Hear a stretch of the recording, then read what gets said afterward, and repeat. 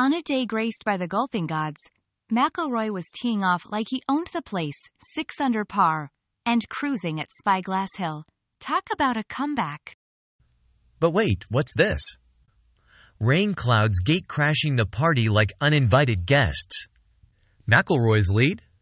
About to take a splash?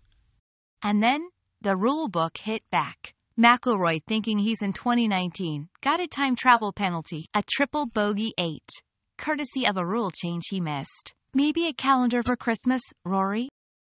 While McIlroy's on a roller coaster, Justin Rose is smelling the roses, all under par and breezy.